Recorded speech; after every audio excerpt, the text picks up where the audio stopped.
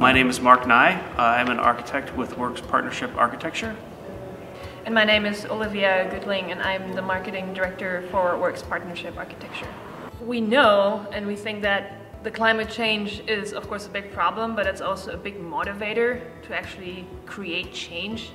And we also know that being successful in those really big challenges requires us to make real leaps in design, and being part of those leaps is super exciting for us. For me, the, the joy of being an architect is being effective, being able to take a lot of different things that are requirements out in the air, the marketplace, your project, the local community, the global community, and pulling all those things together into a single clear expression of intent is really the for me the definition of effectiveness and to the extent that we are able to influence climate change in a positive way is one of those, if not a very important component of that effectiveness. Right, because we are in buildings all the time. And another point is that there are about 22 million buildings going to be built within the next decades.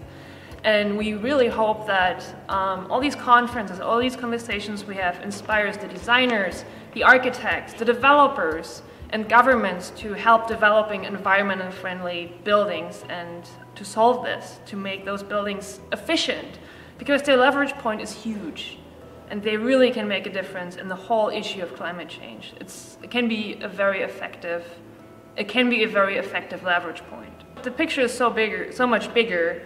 In the traditional material production, the environmental impact it takes to use concrete, to use steel, is so much larger than using CLT, than using wooden construction, and that's the other big, that's the other big leverage point.